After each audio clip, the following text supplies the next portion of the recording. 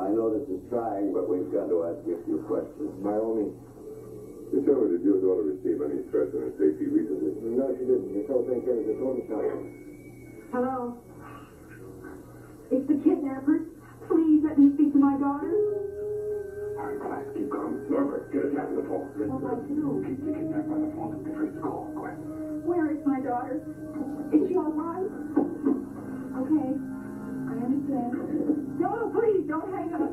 Oh, oh, please don't hurt my daughter. I love her so much. Terry, you saved her, did she? No, don't hang up. Please don't hang up.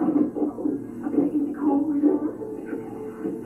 Warm here. Uh, who do you think will the investigating division this? Well, I go with LA.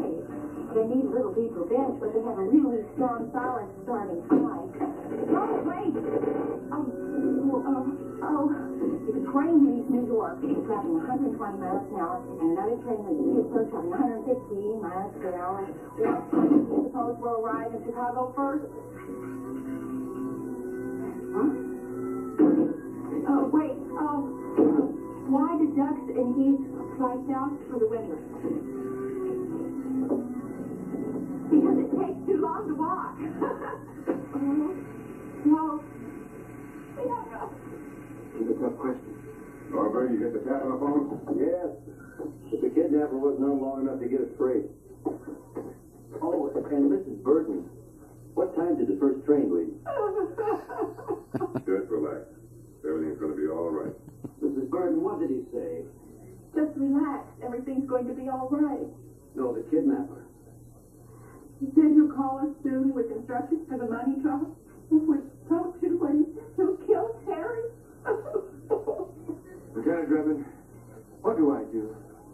Well, as I understand it, you're in the textile business. I mean, I don't want the police involved in this. Now, we've all got to work together to capture this kidnapper. I'll pay whatever ransom is necessary to get Terry back. No, that'd be giving into him. These people are emotionally unstable. Got a case like this similar. Kidnappers cut the victim's ear off and send it to the family. So you see, you've got to let us help you. It's not the whole ear, of course, just a piece. And when this whole thing blows over, we'll return Terry's ear if she's still alive.